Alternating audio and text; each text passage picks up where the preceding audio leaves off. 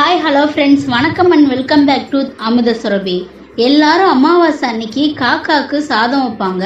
அமாவாசை தினத்துல வழிபாட்டுக்கு பின் காக்கைக்கு உணவு வைப்பது ஏன்னு தெரிஞ்சுக்கலாம் வாங்க. அமாவாசை தினத்துல படையிலிட்டு வணங்கிய பின் காக்கைகளுக்கு உணவு வைக்க வேண்டும் என சாஸ்திரம் சொல்லுது.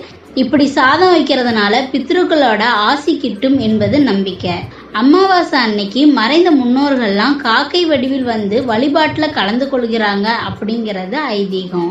யமனும் சனியும் சகோதரர்கள் ஆனால் காக்கைக்கு உணவிடுவதால் இருவரும் ஒரே சமயத்தில் திருப்தி அடைவார்கள்.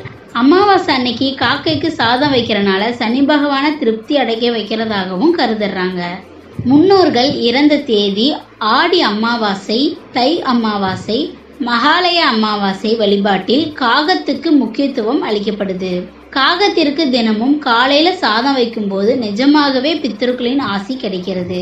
அது மட்டும் இல்லாம செய்வினை கோளாறுகள் நம்ம வீட்டு பக்கமே எட்டி பார்க்காது. தீராத கடனும் தீர்ந்து போகும்.